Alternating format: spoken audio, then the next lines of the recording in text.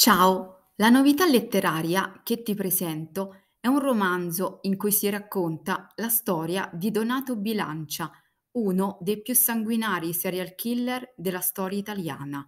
Conosciuto come il cannibale dei treni, Bilancia fu responsabile di 17 omicidi in soli sei mesi, prima di essere arrestato e condannato a 13 ergastoli. Ma chi era quest'uomo? Carlo Piano ricostruisce nei dettagli la vita di questo assassino.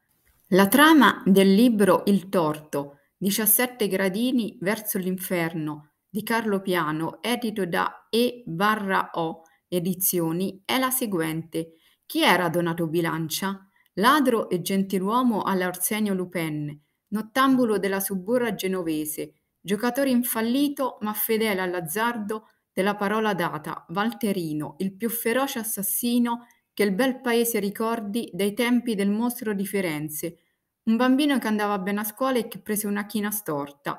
Donato Bilancia, detto Walter, resta un caso senza spiegazione, enigma ed emblema di quella banalità del male che, come Iago dell'Otello, nella sua evidenza, non risponde. In questo raggelante romanzo, Carlo Piano ricostruisce nei dettagli la vita di quest'anima dannata, di questo oscuro assassino, senza mai cedere a un facile, morboso voyeurismo, indagando senza preconcetti e con tenace coinvolgimento nelle pieghe, nelle motivazioni, nei deliri di questa mente feroce, responsabile di 17 omicidi, come il cannibale Jeffrey Dahmer, ma nel giro di appena sei mesi, un semestre immerso nel sangue, il cosiddetto serial killer dei treni, Venne catturato 25 anni fa e nella primavera del 2000 condannato a scontare 13 ergastoli per i 17 omicidi dei quali si dichiarò colpevole.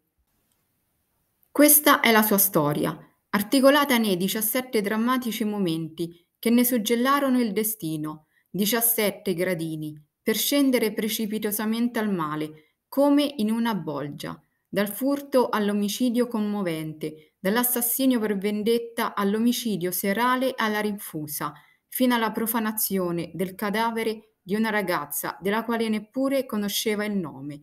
17 abomini che una volta assicurata la giustizia gli costeranno il carcere a vita.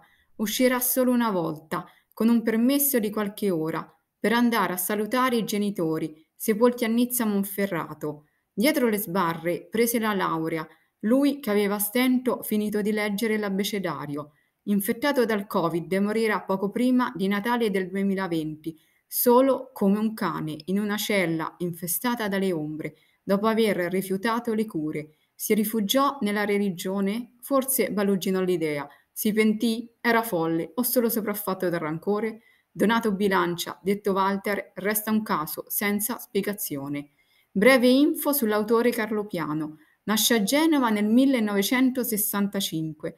Nel 1998 segue il caso Bilancia come inviato di un quotidiano nazionale. Grazie per l'attenzione. Mi piacerebbe sapere cosa ne pensi della trama del libro presentato e se hai voglia di condividere il tuo pensiero, lasciami un messaggio. Per non perdere le novità letterarie, iscriviti al canale.